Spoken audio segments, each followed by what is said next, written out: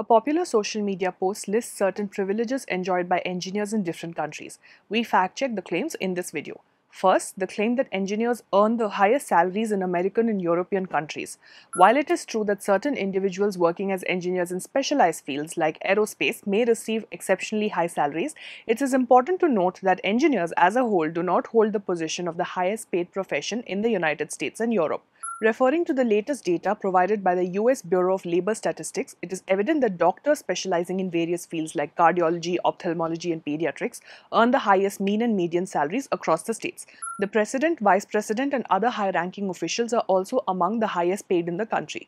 Data from European countries like the United Kingdom and Germany also shows that engineers are not the highest paid professionals. Second, the claim that only engineers can become judges in French courts. In France, judges are selected from among individuals who have pursued legal studies and obtained the relevant qualifications in law. To become a judge in France, one must typically complete a law degree followed by further legal training and passing competitive examinations specific to the judiciary.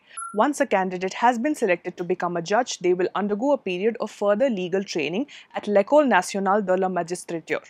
Third, the claim that the police in Japan can only arrest an engineer after getting permission from the government to do so but the Japanese Penal Code does not include any such provisions.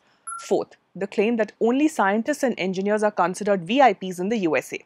Although there is no official designation or published list of VIPs in the US, it is widely recognized that individuals who have held or currently hold prominent positions such as president, former president, or vice president are given official protection, benefits, and certain privileges.